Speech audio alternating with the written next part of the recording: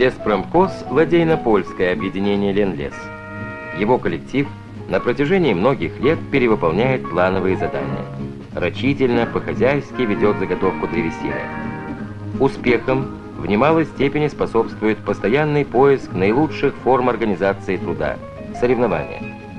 Накопленный опыт позволил сделать вывод.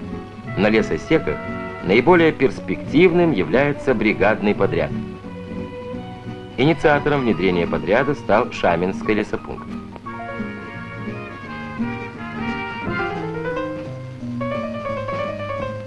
Каждая бригада участка состоит из семи человек.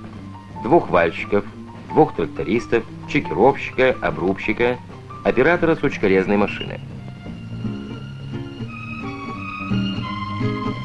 Иван Богданов первым в Ленинградской области освоил эту новую машину, освободившую лесозаготовителей от ручного труда.